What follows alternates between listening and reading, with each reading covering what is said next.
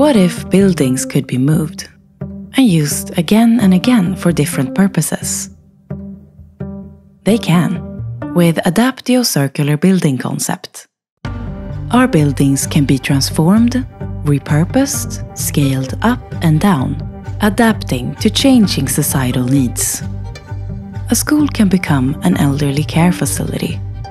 An office can become a daycare center. This means no demolitions and minimized waste. Resources are used again and again, closing the loops and building a circular economy. That is how we create adaptable societies for the future, leading the way towards a more sustainable industry.